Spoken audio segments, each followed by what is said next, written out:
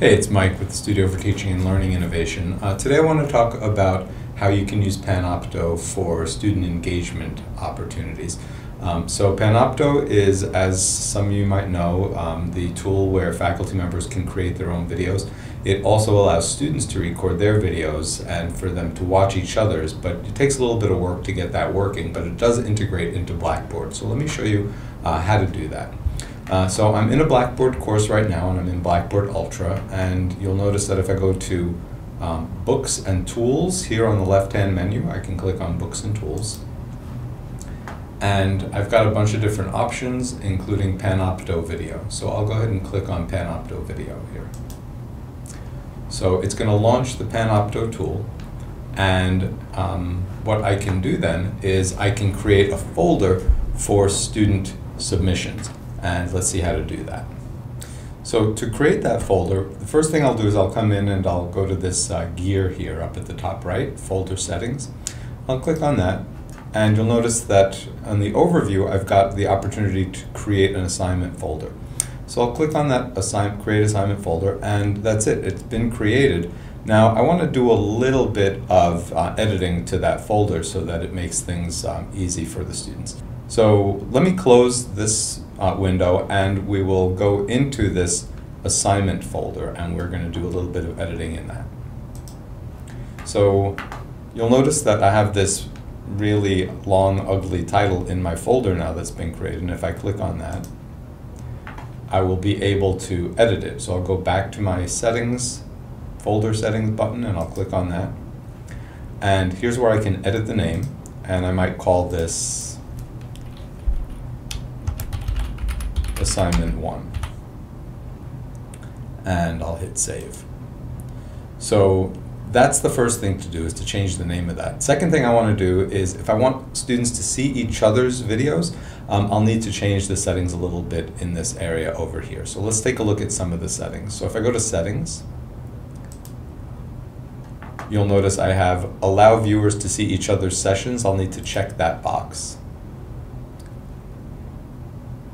And then you might want to also check and see that all of the other settings are things that you uh, want to have.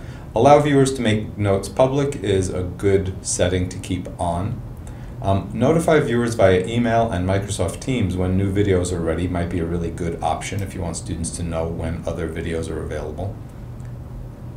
Um, I don't think you want to disable comments on the folder, especially if you wanted students to engage with each others. And that's basically all I would suggest. So I'm going to go ahead and close this. And now you'll notice I have that folder. So I'm going to close this window again.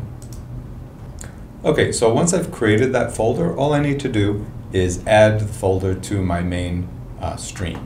So let's say I wanted it just on my home page. So I can go to, um, again, Books and Tools, View Course and Institution Tools. And you'll notice I've got Panopto video and I can just hit plus here. And that Panopto video is now available to students and I can make it visible to students.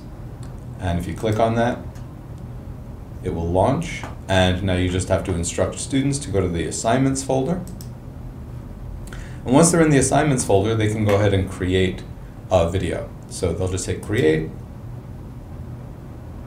Panopto capture they can also upload media that they've created before, um, but I'll just hit Panopto Capture. Here I've turned on the, um, the Panopto uh, webcam recorder, does it right in your web environment, and if I click on the little, little red button here, it'll give me a countdown. and then I can go ahead and record. Uh, there may be a little bit of lag because I'm recording this through another application. But anyway, um, here I am. I can give you my little update, a little bit about myself, and once I'm done with that, I can hit stop. And it's going to automatically put it in the right folder. You'll see here assignment one. And that's it. That's all the student needs to do. And they'll go ahead and close this window. And if I hit refresh here,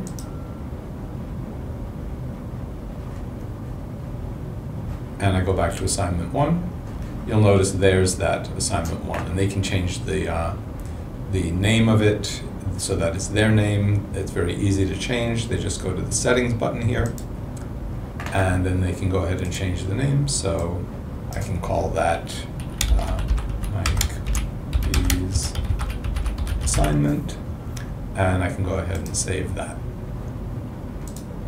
And other students can comment on it by clicking into it. And they can go ahead and go to the discussion area. And they can post a public comment here.